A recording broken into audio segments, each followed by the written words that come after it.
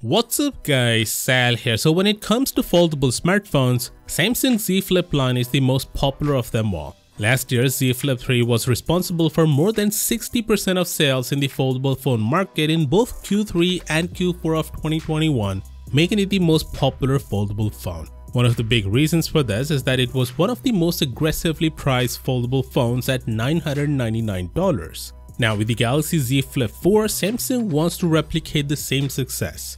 In fact, Samsung is so confident with the Z Flip 4 that they have decided to double the production rate compared to its predecessor at launch.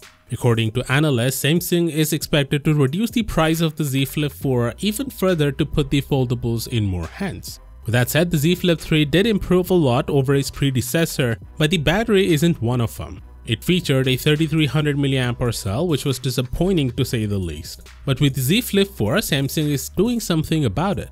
Galaxy Club has revealed the battery capacity of the Z Flip 4 and it seems Samsung has increased the capacity by 100 mAh to 3400 mAh. I know 100 mAh wouldn't make a world of difference and that's a trade-off you're making because it's a foldable. The physics of a battery just means that the space taken by the hinge and the legitimate need for the body to be slim result in a smaller set of cells. The phone physically can't fit a battery as big as the S22 Ultra or even the S22.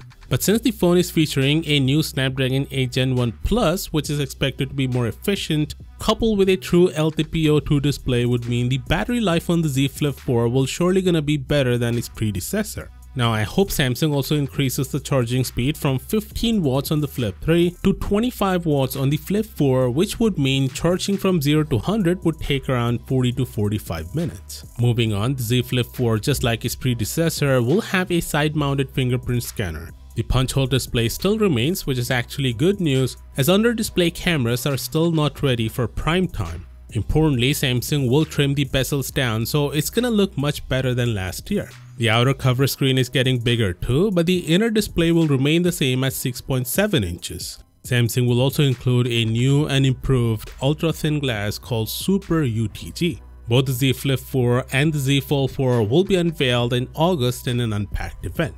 Of course, for all the latest updates, be sure to subscribe. And as always, I'll see you tomorrow. Peace out.